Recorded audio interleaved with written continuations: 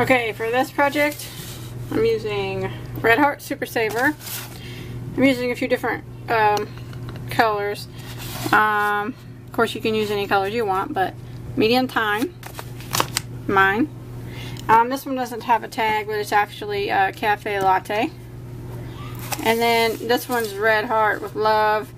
I mean, you can use all the same or all different yarns. It doesn't matter. But and this one's called Daffodil. I just like that yellow better than the other yellow that I had. So. And then I'm going to be using a size J 6 millimeter crochet hook. And I'm also going to be using a size H 5 millimeter crochet hook. And this should be just about standard. This should fit a, uh, just about any standard size coffee cup. But if you have one that's a kind of funky looking, you might want to measure around it like that. So you want to start out two strings at the same time. And this is just going to be the only time that I use two strings. I'm not going to use two strings for the flower or the leaf, but just for the base part of the cup holder. Two strands and your big hook, your 6 millimeter, and you want to start out with a chain of 28. And without twisting your chain, I'm going to slip stitch into the first one to form a ring. Like that. Now I want to make a chain one, a loose chain one, so I can go back into it later. Now I'm going to work my way around, putting one single crochet in every stitch. So just like this. One single crochet in every stitch until I get back to my starting point. Okay, when you make it back around, I want to slip stitch into that first, um, that chain one that we did. And I'm not going to continue going this way. I'm actually going to chain one and turn. And now I'm going to go back around this way, putting one single crochet in every stitch. And I'm going to be starting in the very next stitch. So we chain one, so not this very, very first one right there, but this one. And I'm going to start by going across. Again, putting one single crochet in every stitch all the way around until we get back to the other side. You make it back around again and again you want to slip stitch into that chain one like that chain one again and turn and now we're going to work back again the same way. Putting one single crochet in every stitch. After this round we'll start leaving a slit for the handle. So I'm going to continue around putting one single crochet just like this in every stitch until we get back to the beginning. Okay, I made it all the way back around. Now instead of slip stitching to close around, what I'm going to do is just chain one and turn. And this is, we're not going to slip stitch now and it's going to start leaving a little slit there. And then we start again, putting one single crochet in every stitch all the way back around. By not slip stitching, it's going to just leave that little spot that we need that the coffee cup handle will go through.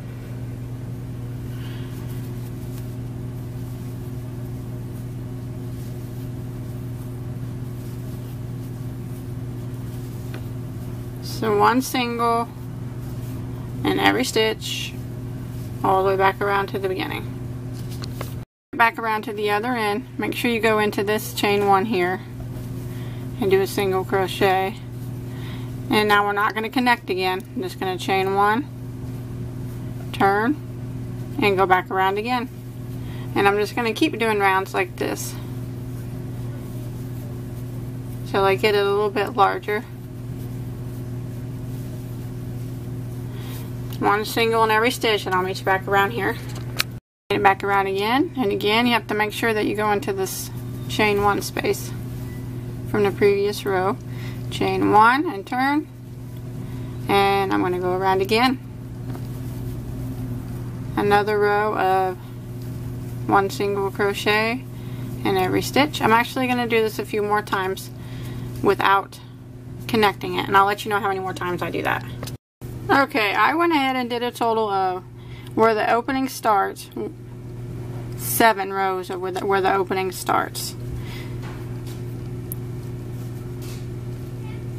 So it was two below it and then seven where the opening starts.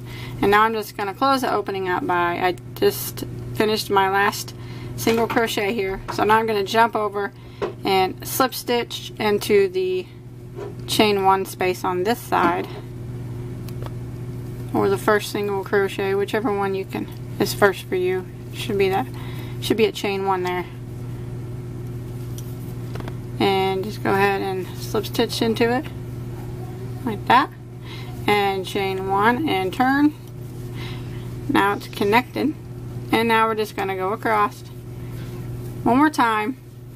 Putting one single crochet in every stitch and when you make it when you make it back around after that row you just want to slip stitch in the first and that first slip stitch and then we will tie this off and hide the tails from this stuff and then I'll show you how to add the flower and stuff if you want to do that. If not, I mean it works the way it is right now.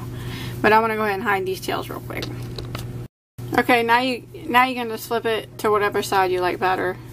But I guess they both pretty much look the same. But I'm going to set this aside for now. And now I'm going to start on the flower.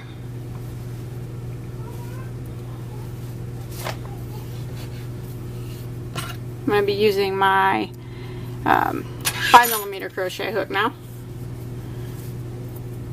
So I'm just going to make an easy flower. If you want to use a different flower, that is fine too. So I'm going to start with a long chain.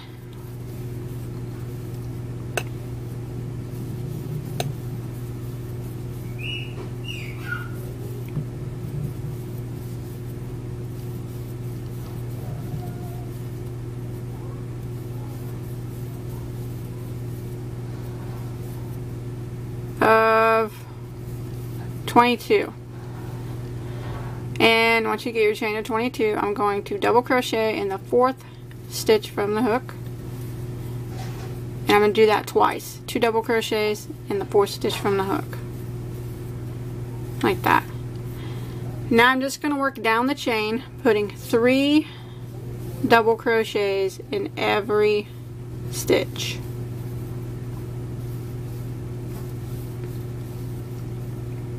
Three double crochets in each stitch for the entire length of the chain. And it'll start curling up on you and stuff. But that's okay. That's what we want. This is just a quick and easy way to make a rose. Now like I said you can do any kind of rose that you want.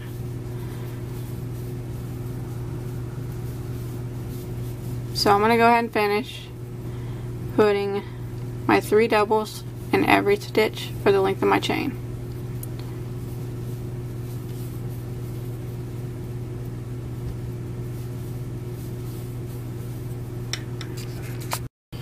Okay, once you get to the end, you want to cut a long tail.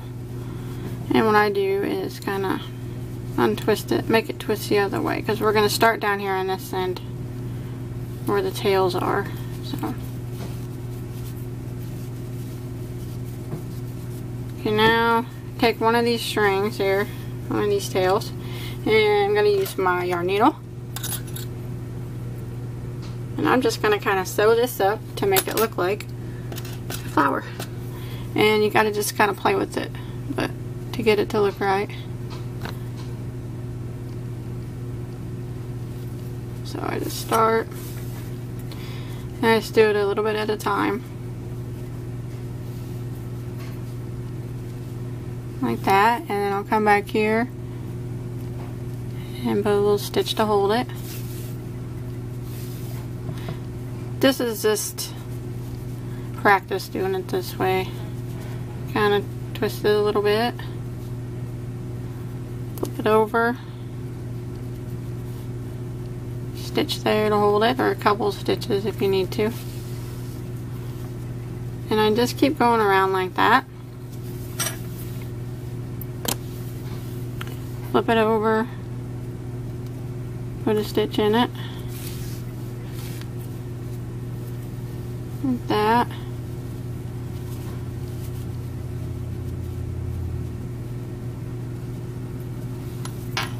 Flip it over. Stitch in it.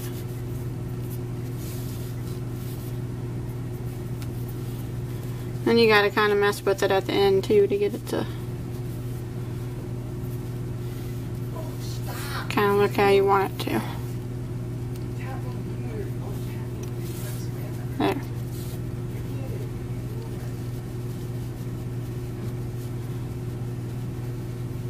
I know it probably looks kind of awkward the way I'm doing it, but it really is easy. Just, oh, just messing with it until you get it to look how you want it to look. That's all there is really to it.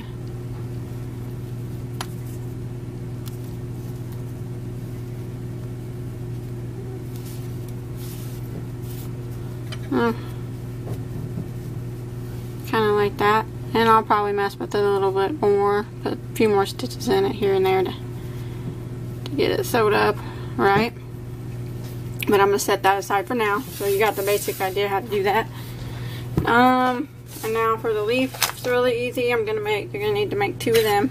Same size needle, 5 millimeter. You want to start off with the chain.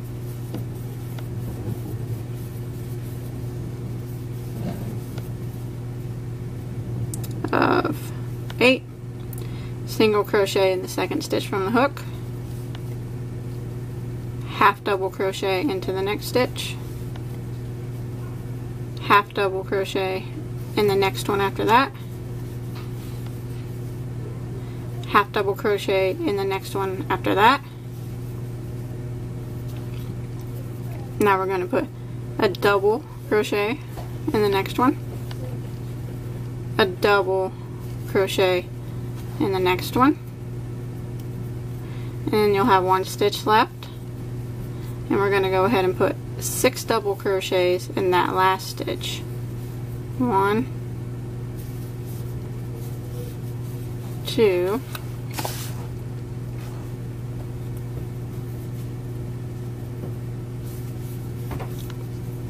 Three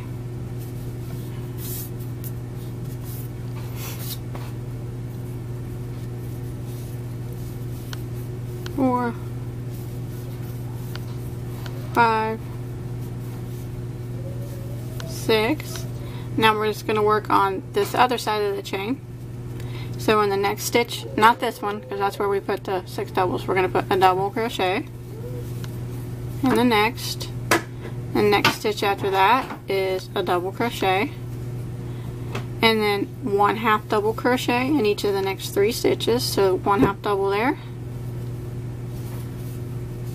half double on the next, half double on the next, and there'll be one stitch left, and you want to put a single crochet in that one. And now what you want to do is come right over here to the very first single crochet and slip stitch. And that is how to do a quick and easy leaf. You want to tie up a long tail so we can sew it on with. And you want to make two leaves the same. Now all it is is just sewing this stuff on. So here's my crease. So I just fold it right at the crease. I'm going to sew the stuff on right here. You can kind of sew it in any way that you want. I mean in any design that you want. So probably just sew kind of sew my leaves there. Maybe my flower up on top of them. So it's whatever you think. It doesn't have to be perfect. But to sew, I'm just sewing them like this right directly on. I'll just go all around the outside of the leaf until it's sewed on. I'm going to do that with both leaves once I get them where I want them to be.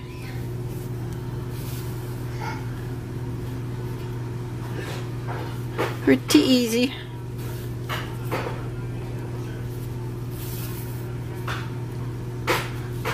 So I'm going to go all around this leaf, sewing it on like this, and then I'll put my next leaf where I want it to go. I might make it overlap a little bit like that, but I'm going to get it sewed on too. Okay, I got my leaf sewed on. Now I'm just going to pick where I want my flower to go. It's really up to you. And I'm just going to sew it on the same way. Set it right here and start going through and sewing it all around until it. Probably stick it right make the needle come up through the rows like that. That and then back down through again.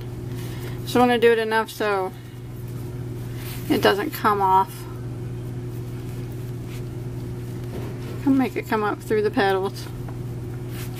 You can move them all around because you can always straighten them up later so. and just sew and sew it all around until it's sewed on there nice and tight.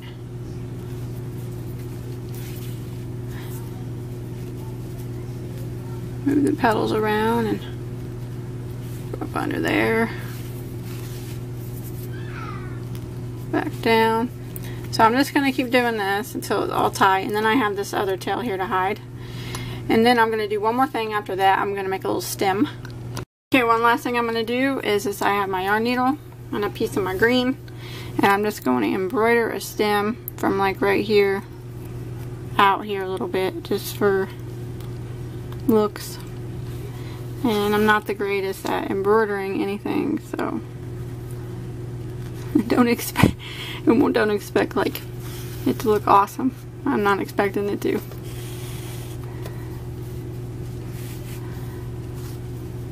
But just take it and from the center of your leaves here and I just go back and forth.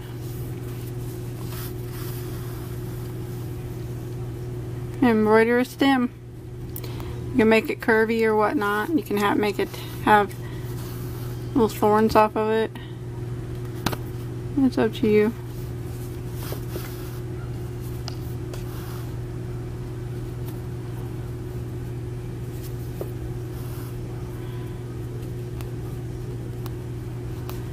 But I'm going to work work on it for a little while and bring it all the way out here so where it's, it's visible.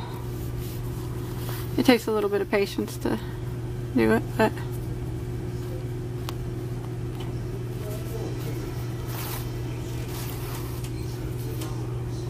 you can make it curvy or straight. It's up to you. You can see it kind of starting to come out now.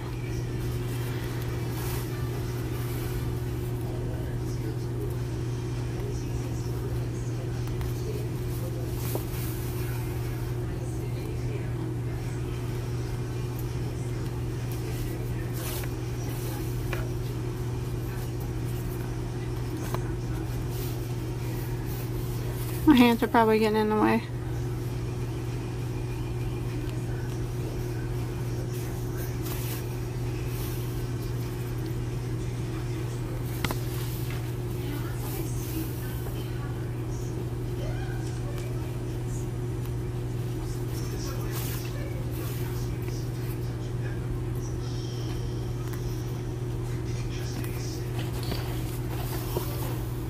So you can kind of see it now coming. I'm going to kind of make it um, curve a little bit just by pulling it up a little bit. But you do yours how you want. So I'm going to keep working on my stem and I'm going to make it come out to about here. Okay, that's that's all there is to it. I ran embroidered a stem. It's not really that good, but it works. But that's it. It's real easy. Um, please don't forget to subscribe to my channel and if you make this you can always post a picture of it uh, to me on the Bag-O-Day Crochet Facebook page. I'll put a link to that below in the description box.